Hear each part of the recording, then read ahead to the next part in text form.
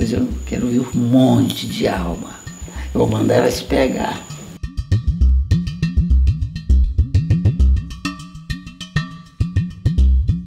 Acho que eu sou um bruxo. Eu não sou, eu sou santo.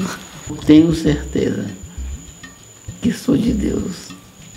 Porque eu gosto dele. Eu adoro Deus.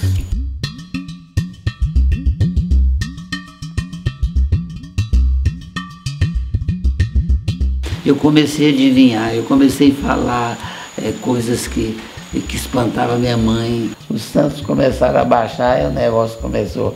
Umas pessoas gostavam, achavam, e outros já achavam que estava danado, que será, será coisa do cão, esse menino adivinha. Porque foi difícil para me chegar aqui sem a ajuda do meu pai, eu não queria, não gostava, achava que não era, não era, não era de Deus o que eu estava seguindo.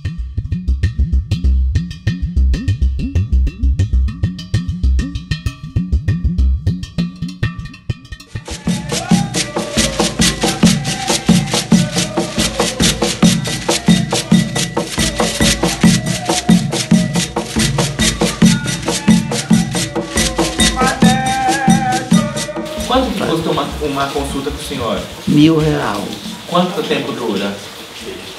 15 minutos. Agora, Depende, porque tem cliente que é legal, é, chego, é com educação, mestre Brita, como vai? Vamos vir dar uma olhada.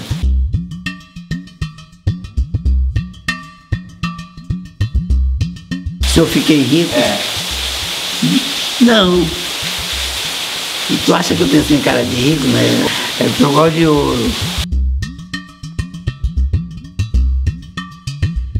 É, às vezes eles vêm, é, nós somos amigo particular, às vezes vem me ver, Beta, vem como é que tá, e etc.